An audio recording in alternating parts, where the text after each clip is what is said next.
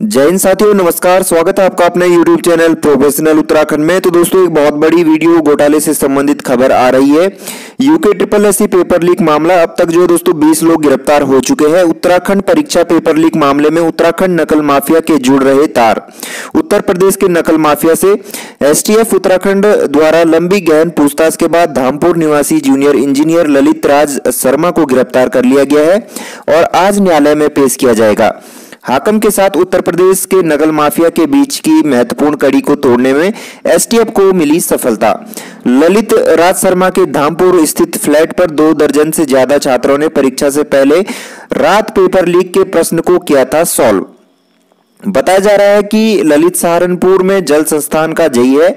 उसकी पत्नी देहरादून में एक निगम में एई के पद पर तैनात है। सूत्रों के मुताबिक वह कई और परीक्षाओं में भी हाकम के संपर्क में रहा था। उसने स्नातक स्तर की इस परीक्षा में पास कराने के लिए भी कुछ अभ्यर्थियों को देहरादून में हाकम के पास भेजा था। नकल के अड्डे पर उत्तराखंड और उत्तर प्रदेश के लोग हुए थे इकट्ठा। एसटीएफ बड़े खुलासे के लिए टीम को गैर प्रांतों में किया गया रवाना। तो दोस्तों, बहुत ही महत्वपूर्ण ये इंफॉर्मेशन मिली मिली है। एसटीएफ के द्वारा सर्जिकल स्ट्राइक लगातार जारी है और प्रत्येक दिन जो है नए नए साक्ष्यों को इकट्ठा करके नए नए आरोपियों को जो है गिरफ़्तार कर लिया जा रहा है। तो दोस्तों, देखते हैं आगे कार्रवाई कहाँ तक जाती है।